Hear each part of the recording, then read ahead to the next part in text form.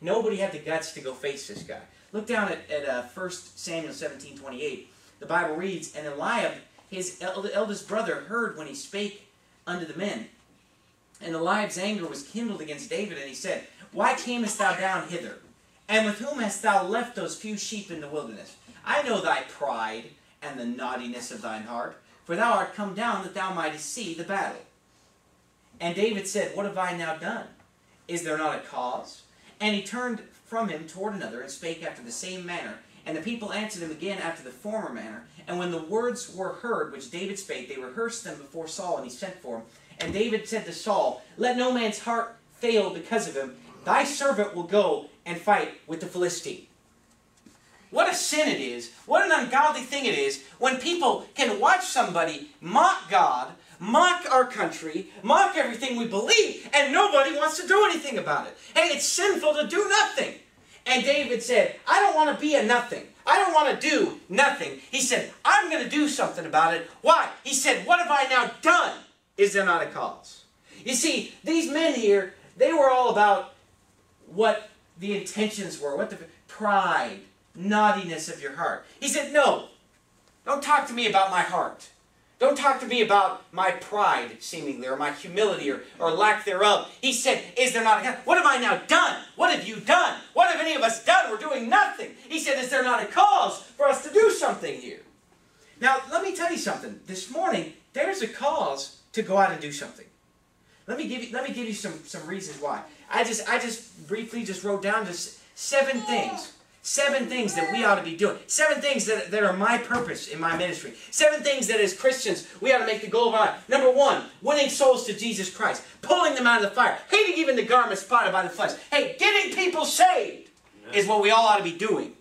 Right. Number two, we should be banding together as one unified body in God's institution, God's congregation, the local church. Hey, that's worth doing. It's what Jesus spilled his blood on the cross for, uh, to purchase the local church. Hey, it's worth being a part of. Number three, training, confirming, and leading those who we win to Christ and other baby Christians that we come across in our life when we find a baby uh, laying abandoned because they've never been taught the Bible, they've never been taught soul winning. We find a baby left in the field as Ezekiel did in Ezekiel 16. We pick it up and we uh, nurture it and bring it up as our own spiritual child. Hey, training, confirming, and leading those who we win to Christ and other baby Christians to greater service for God. Training them to win souls. Uh, making something out of their life that, that's worth something for the kingdom of God. Number four, Purging our heart, this, this is what I'm about. This is what I'm going to do. I don't know what you're going to do. Oh, let me tell you what I think. I don't care what you think. Let me tell you what I feel. I don't care what you feel. Let me tell you what my plans are. I don't care what your plans are. This is what I'm going to do. Today. Tomorrow. Yesterday. Okay, and that's what God is saying here. Don't say today or tomorrow. We shall live and do this or that. You don't know what you're going to do tomorrow. Don't boast about tomorrow. Thou knowest not what a day may bring forth. He says you better do so. If you don't do it now, it's a sin. Do nothing now, you're in sin now. Don't tell me what you're going to do tomorrow or what your plans are. Number four, purging our hearts, minds, and bodies from the filth of our mainstream society, which God has given the despicable title of the world. I mean, so much is summed up in those two words the world. I mean, to me, it brings up images of TV screens. To me, it brings up images of magazine covers. To me, it brings up images of people who love themselves. Lovers of themselves more than lovers of God. Despisers of those that are good. Traitors, the Bible says they are. Heady, high-minded. They're traitors.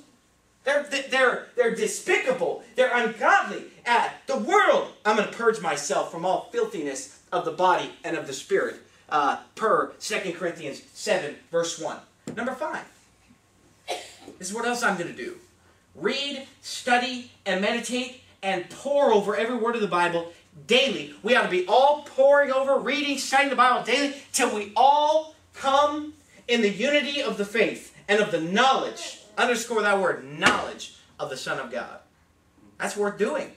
Number six, to teach our families and our children, to bring them up in the nurture and admonition of the Lord, to love God, to love God's people, to know God and walk with God, not to be a hypocrite in the home, not to have my kids see one dad in the home and another dad behind the pulpit, but to see the same man on Monday, Tuesday, Wednesday, Thursday, Friday, Saturday, Sunday to learn that Christianity is not a joke. It's not a show. It's not an act. It's for real. It's part of our lives. That's what I'm going to do. That's what you ought to do. Hey, that's what we ought to be doing. Number seven, to fight against, yes, fight, to fight against the murderers, tyrants, pornographers, perverts, and devils who've taken over our media, they've taken over our politics, and they've taken over our pulpits in America. Right. We ought to fight them. Amen. That's what I'm going to do.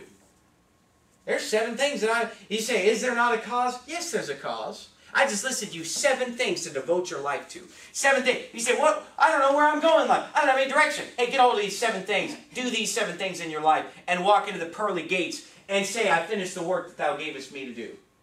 Praise the Lord. That's the truth. Number one, win souls. Number two, church. Number three, training, confirmation. Remember, I preached on confirmation, confirming believers that you that you won the Lord. Uh, number four, purging from the filthiness of the world. Number five, reading, studying the Bible. Number six, training and teaching your family, your children. Number seven, the fight that needs to be fought. Yes, there's a fight that needs to be fought. These are the seven things I'm going to devote myself to. You see, flip over if you would to Revelation chapter 20, verse 12. Revelation 20, verse 12. Now, this is not a verse that's that's dealing with believers. It's dealing with unbelievers. It's talking about the dead being judged. But just let me show you something about God that's a very universal principle about God. And you'll find it all throughout the Bible. And I'll give you some verses that deal with believers also. Here's first a verse about unbelievers. Just to show you something about the character of God. The Bible says in Revelation 20:12, And I saw the dead, small and great, stand before God.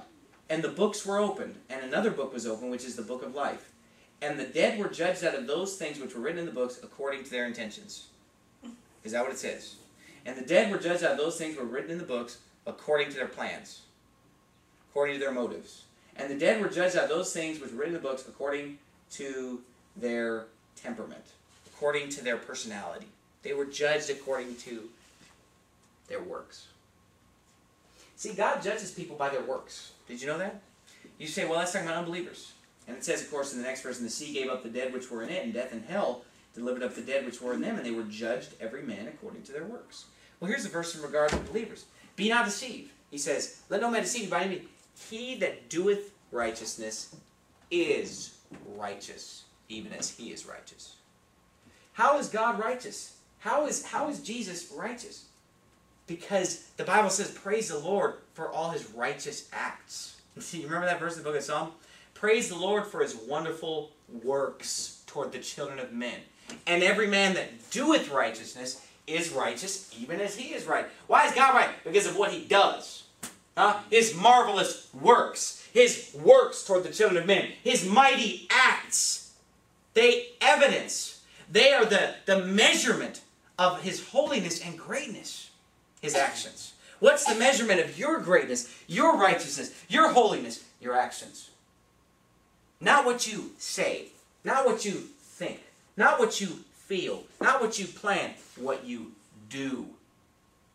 You see, we're going to be brought into judgment and at the judgment seat of Christ, not for sins. Our, our sins have been forgotten, gone, gone, gone. Yes, my sins are gone. As far as the east is from the west, so hath God separated us from our sins. The Bible says his sins shall not be mentioned unto him. Hebrews 10 17, their sins and iniquities will I remember no more, God said. But he will judge our works at the judgment seat of Christ. And he's going to judge them good or bad. Was your work excellent or poor quality? And he says if it's poor, it's gone. It's total. It's uh, wood, hay, and stubble. No reward. He said, he said you will lose a reward, but you yourself will be saved. And so I when I'm brought into judgment before God, he's gonna be he's gonna look at my works. Turn there. You, you don't believe me. Turn there. Second Corinthians. Well, you believe me, but turn there so that you can believe the Bible. Second Corinthians chapter 5. You've probably seen this verse before, but I like to emphasize certain things. For we must all appear before the judgment seat of Christ, that everyone may receive the things done. You see that word done? Here's an English lesson. It comes from a root word. See the first two letters? Do. You do what you've done. He says, it'll be judged, receive the things done in his body. You're only going to receive a reward for what you've done.